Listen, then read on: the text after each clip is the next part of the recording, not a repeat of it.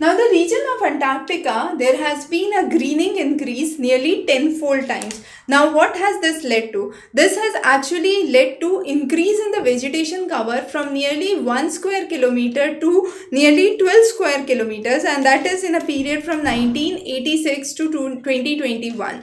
Now, with this, we have seen the west part and the peninsula of Antarctica as the major areas where greening has taken place at a faster pace and also there are 90 percent of the glacial uh, loss of masses which has been registered since 1940s. Now all this have been attributed to rising uh, climate changes and global warming and it is believed that heating has increased five times as fast as before. So there have been significant reasons for greening in Antarctica and this would ultimately lead to a global water mass imbalance. So very important topic from optional perspective, we'll be covering many such interesting classes from environment and optional geography. Stay tuned. Have a wonderful day.